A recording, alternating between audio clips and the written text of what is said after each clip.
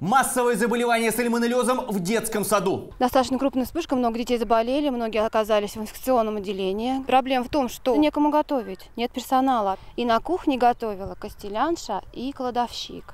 Если человек, он не имеет отношения ни к образованию поварскому, допустим, ни вообще отношения к кухне, что он приготовит на такое количество народа. Подробности сегодня в программе «Кстати» в 7 вечера на телеканале «Диалог».